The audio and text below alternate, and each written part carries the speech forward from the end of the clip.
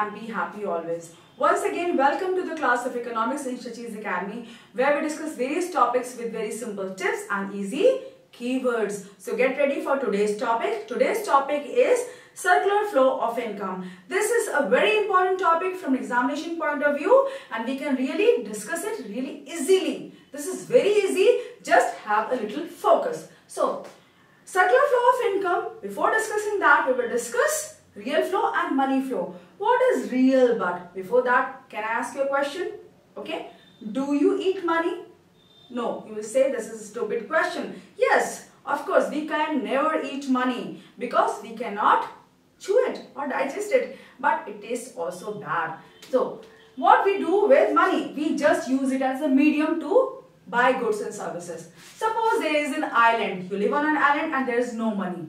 So what will happen there? There is real flow. That is barter economy, right? Barter economy, what do we do in barter system?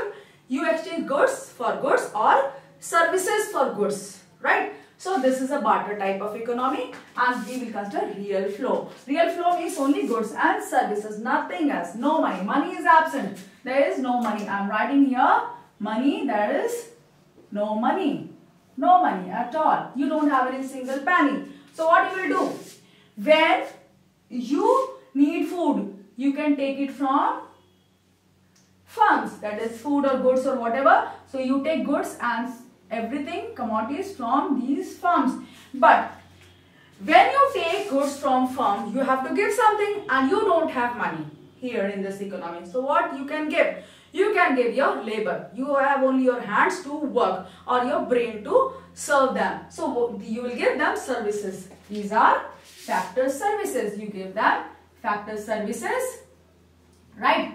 So in real flow, you get goods from firms and give services to, to them. So this is our real flow. Money is totally absent. There's no money. Now, money flow.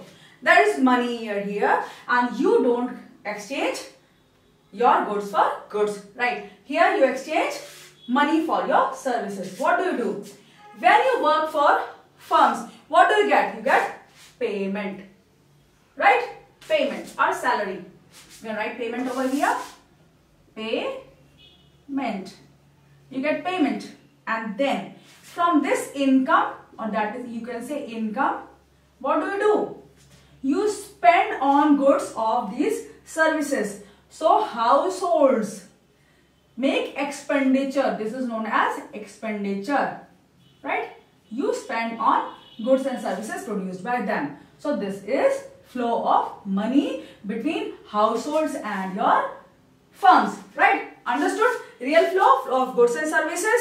Money flow, flow of money between firms and households. You get payment and you spend on goods of firms. Right? Then we come to our circular flow of income. What is circular flow of income? The combined form of your real flow and money flow. In that we will discuss three phases of our production uh, that is flow. Here we have three phases. Production phase in economy, production phase. Then we have income phase that is generation of income or distribution of income phase. Income phase. Income phase and then we have here expenditure phase. Expenditure phase. So we have three phases right here. It's moving like that. Okay. When factor services or factor of production produce some commodity right when they work households work in firms these are the firms over here what do they get they get payment they work here they produce goods and they get payment that is income phase income generation or it is distributed the whole uh, money that is generated in form of producing goods is distributed in form of income. You receive payments for your work. That is households. This is household sector. Right? Over here, this is household. Now, this household, it cannot eat its salary or payment. It cannot eat money. So, what it will do? It will spend that money on goods and services produced by firms. That is goods. It will be spending on goods of these firms. So this is expenditure phase. So whatever money people get from working, they spend. So this is a flow of your money, circular flow. And these are three, there are three phases, production phase, income phase and expenditure phase. Suppose we have produced goods of 1 crore rupees. If goods are of value of 1 crore rupees, right? So value of goods is 1 crore rupees that is produced by your firms. Then this whole amount that is whole production is distributed among factor services, right? So this is distributed among them. So this is again 1 crore. And then again this whole 1 crore is spent on goods and services of firms. So again 1 crore reaches these firms. 1 crore. Then again they will produce. Again these factors of production or households will receive 1 crore. Again they will spend 1 crore and again this cycle moves on endlessly and endlessly on and on. So this is known as circular flow of your income. Money sorry. And now triple identity. What is triple identity? Identity between them all. Production, production. Then we have income is equal to expenditure. Expenditure. Right? Expenditure. Now, production was of 1 crore, 1 crore. Income 1 crore and expenditure again 1 crore.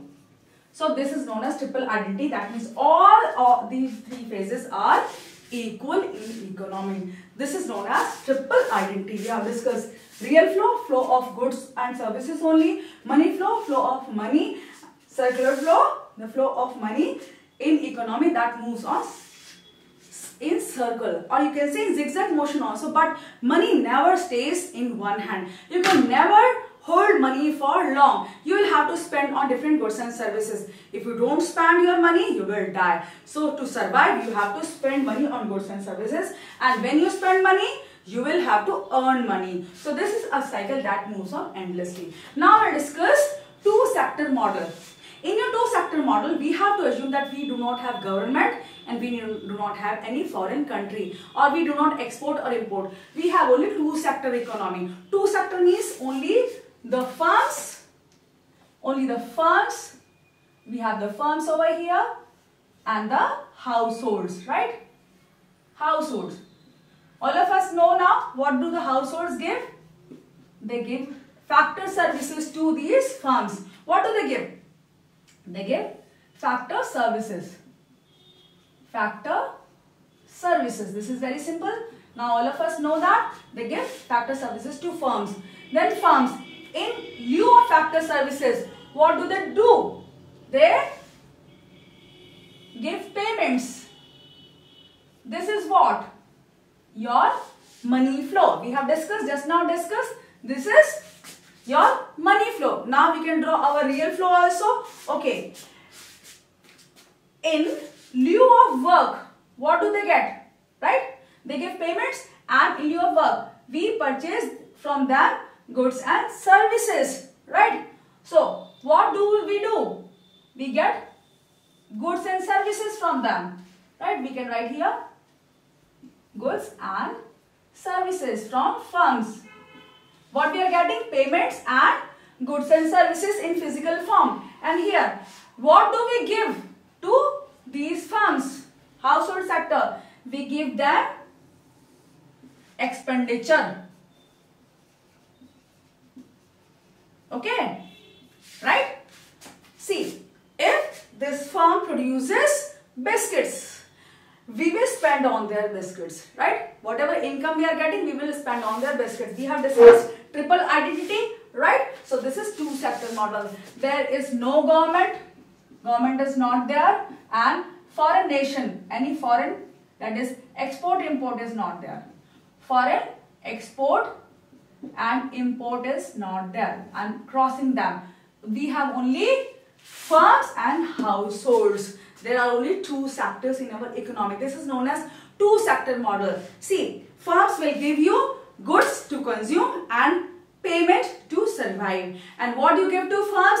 You give them your factor services to produce goods and you will give them expenditure. You will give them again the money. So you are getting money from here and you are giving them money and helping them to produce. Again they will produce goods and services.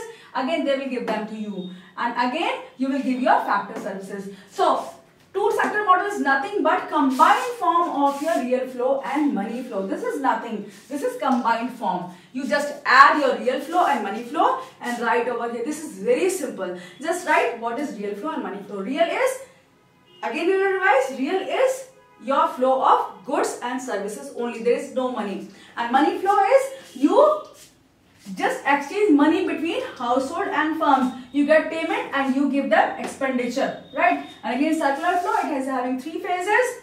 Production phase, income phase, expenditure phase.